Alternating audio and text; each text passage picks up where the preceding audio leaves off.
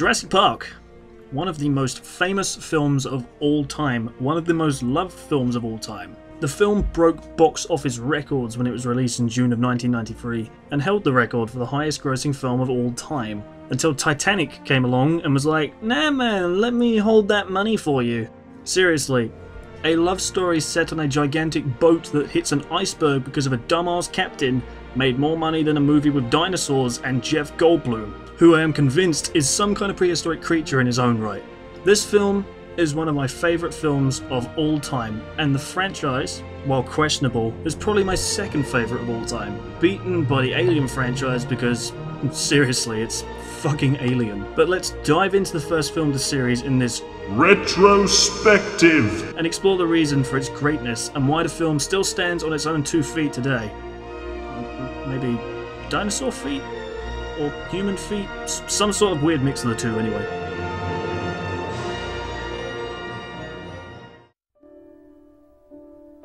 John Hammond, a billionaire, maybe millionaire, I, I don't know, his wealth is never really covered, so let's just assume all the money in the world. He's created a park populated with real life, prehistoric dinosaurs. But in order to open his doors to the public, his lawyers have insisted on getting the approval of paleontological experts, yes, I said that correctly, who have to endorse the park. Well, the doors will remain closed forever. He enlists the work of three experts Ian Malcolm, Jeff Goldblum, Alan Grant, Sam Neill, and Ellie Sattler, Laura Dern, to take a tour of the park and hopefully garner their approval.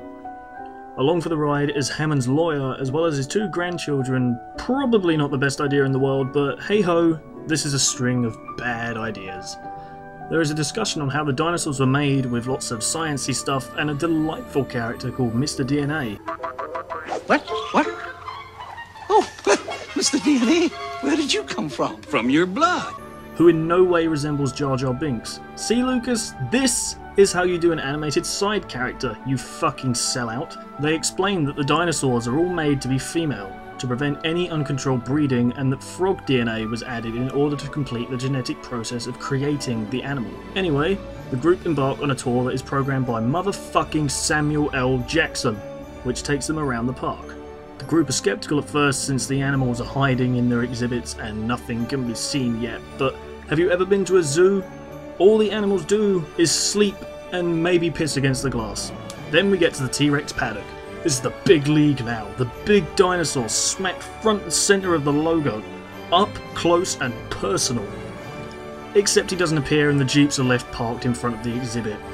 A storm is brewing in the background, no, um, I mean a literal storm. There is a literal tropical storm heading for the island, threatening to smash shit up. The jeeps get caught in the storm, and the fences are disabled because of a man called Dennis Nedry. Dodson! Dodson! We've got Dodson here! Now, earlier in the film, Nedry has been offered a large amount of money, but not as much as Hammond. Nobody has as much as Hammond, apparently, to steal dinosaur DNA from the park and take it to them.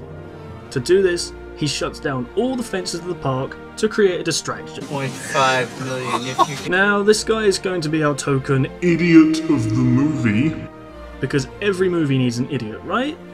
So the idiot disables the fences, takes the embryos, and is swiftly killed by a Dilophosaurus after wandering into its exhibit. It spits paralyzing acid in his eyes and then proceeds to tear him apart inside his jeep. The idiot is dead! He didn't last very long, so the fences are down. And oh fuck, the T Rex is out and it flips the car over a ledge, which wasn't there before. Plot holes, am I right? Sending one kid with it while Grant escapes with the other one. The kids are called Lex and Tim, by the way, but who cares, right? We do! The audience care! Stop writing child characters we really couldn't care about. Anyway, the T Rex breaks loose, fucks up Jeff Goldblum, and eats the lawyer on the toilet.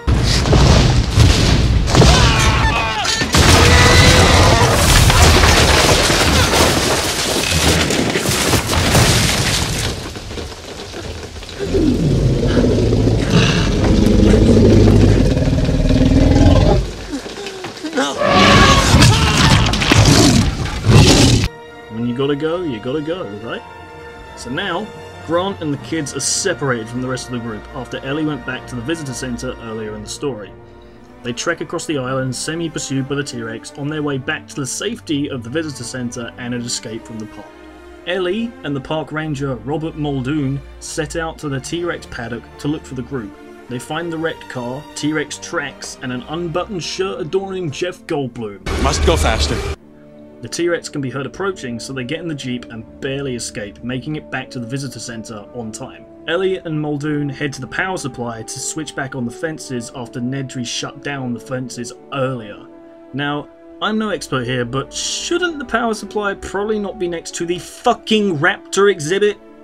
Maybe put it underneath the visitor center where you don't have to trek past killer dinosaurs to reach it in an emergency. Anyway, they head to the power supply, but surprise, the raptors have escaped and they've killed Samuel L. Jackson.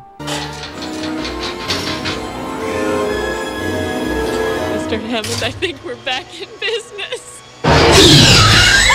They then proceed to hunt and stalk the pair, killing Muldoon and very nearly trapping Ellie underground. Clever girl. She switches the fences back on, and security is restored, but that's not much use when you have three raptors and a T-Rex still on the loose. Eventually, however, the group is reunited in the visitor center and all seems well. Everything is good, Everything is fine. right? Wrong!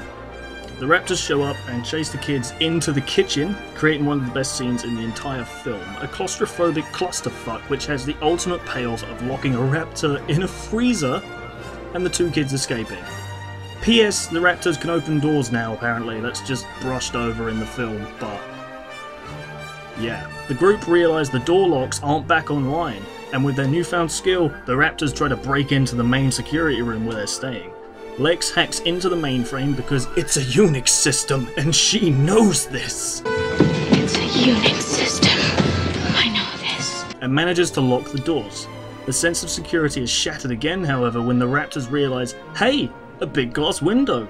I can probably break that, being a fucking dinosaur and all, and smash through after the group who are now in the air vents trying to escape. The group make it to the main hall of the visitor center, where they find themselves surrounded by raptors. Looks like this is the end for our beloved smorgasbord of characters. But wait! The T-Rex appears out of nowhere. Seriously, how the fuck did he get in there? Did he open the front door and squeeze in without making a sound? Because I don't think silence is in a 40-foot carnivorous dinosaur's itinerary. And crushes the raptors, saving the group in the process, who then swiftly escape with Hammond and Jeff Goldblum in a jeep outside the center. The end.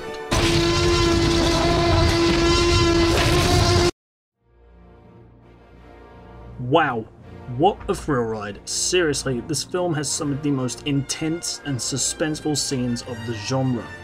The kitchen scene scared the heebie jeebies out of me as a kid, and every scene containing the Tyrannosaurus was phenomenally epic. The effects are amazing and still stand up today, though maybe starting to look a little dated with the CGI shots. The animatronics designed and created by the late great mastermind Stan Winston look real as hell and add a depth to the anime. That's the thing about this movie compared to the sequels, who I will have to talk about sooner or later, I guess. Everything feels real and relatable. The animals are given personality. We get attached to the dinosaurs, and the idea that this park, if made safe, could be something amazing. The raptors are terrifying, the T Rex is epic in scale and presence, the brachiosaurs are friendly, giving wonder to the kid characters and the audience. The raptors are only in the film for the final act, and even then are given a minimal amount of screen time to themselves, but the build up and the anticipation for their arrival is what makes them so memorable, and in the hands of Spielberg, they are made to be unstoppable forces of nature.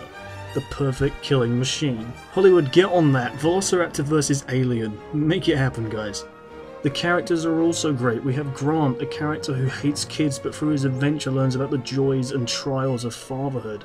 Hammond and Malcolm who square off against each other, both in ideas and terrible dress sense. Seriously, you're on a tropical island and you think white is the best possible colour? I can see your sweat stains from here, Hammond. Clean it up. What is bad? No, really, how do you go about criticizing a film like Jurassic fucking Park? You can't really, unless you want to nitpick. Which for the purpose of this video I will in short and punctual fashion. The cliff that exists only in the minds of the screenwriters. The convenient T-Rex appearance at the end. Where the fuck is the security presence on this island? Seriously. One angry hunter with a rifle and a bad attitude towards raptors? That doesn't really cut it, guys. Needs more gold Goldblum. Well, actually, Lost World gave us that, so I'm not sure if we do need more gold Goldblum. Not very good if you don't like dinosaurs. But seriously, that's it. This film pioneered effects and filmmaking and brought CGI into the public view in a way that had never been done before. Fuck Avatar, you want to see groundbreaking film technology? Watch this film. The characters, the story, the action, everything blends together to create a genuinely heartwarming story about interesting characters trying to survive a horrible chain of events. And it created so many dino nerd kids like myself that were so inspired by this movie. It's an example of Spielberg creating something truly new and special, which blew box office history at the time and changed the face of cinema forever. Final verdict for Jurassic Park? 9.5 out of 10 a must watch for anyone and everyone, unless you don't like dinosaurs, in which case, why the hell are you watching this? Being right all the time.